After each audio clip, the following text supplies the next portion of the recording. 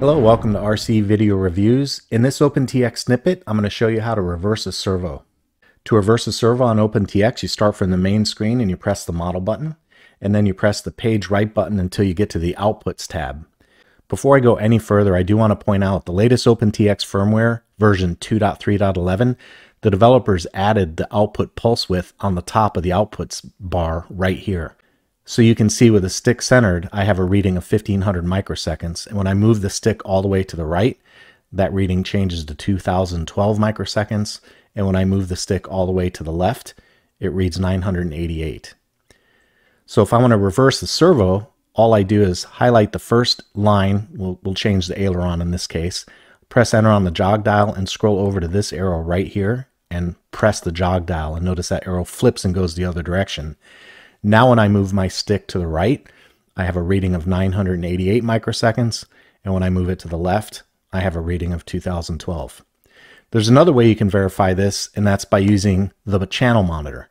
You can get to the channel monitor from any of the model setup tabs by pressing the model button again, and you'll see that on channel one where I have my aileron, when I move my stick all the way to the right, there are two bars that move with it. The first bar is red, and in my case, because I'm using this theme, it's red. That's what goes to the receiver from the transmitter. The second bar is what goes from the mixer to the output tab on the radio. As you can see with the servo in the normal direction, my output and mixer both go to the right. Now if we go back to the output screen and click on channel 1 and slide all the way over to the right and reverse that servo and then press the model button again, when I move my stick to the right, you can see that the mixer bar still goes to the right, but now the output goes the other direction. You can also see a little reverse icon indicator right here on the left-hand side. That means that servo is reversed.